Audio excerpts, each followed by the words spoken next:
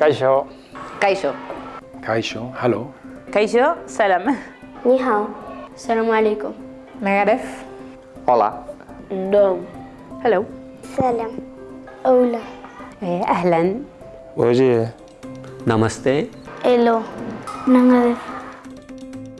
Nire gurasoak dira portugaleskoak, baina orain bizi gara hemen. Eibar eta hemen e, Marrueko. We are from Nigeria, Africa.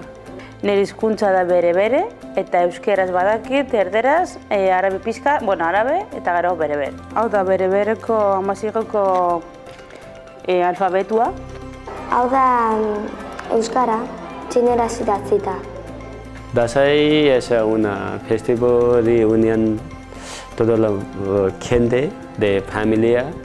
Ramadana dakago, eguzkia ateratzen denetik, e, hortze ja ezin duzu jan, eta eran bez, eta eguzkia sartzen denean ja duzu jan. El Oktoberfest. El Oktoberfest en Múnich es donde todos los extranjeros van, es como aquí las fallas eh, o en Pamplona. Eh, es- yo que es una de las cosas que más turistas atraen en Alemania. Hildakoeri ipintzen dute ofrendak, ba, argazkiak hildakoenak, familiako hildakoenak, eta ipintzen dute janaria gustatzen zaiona. Esto es el muy, muy famoso, más famoso. Se llama full. Comemos con pan, así. Eso es el pan esto de Egipto. Esto.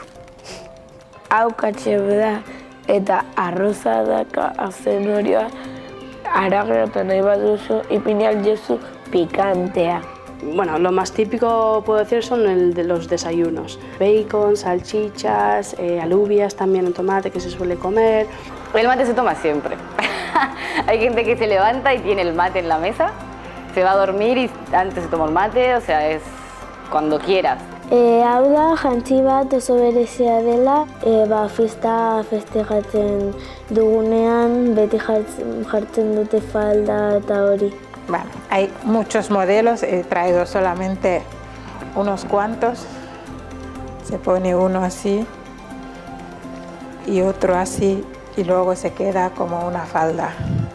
Hau, ditzen da kente. Eta hau, em, kaklo. Eta hau da jai bat egoten bada ipini buruan.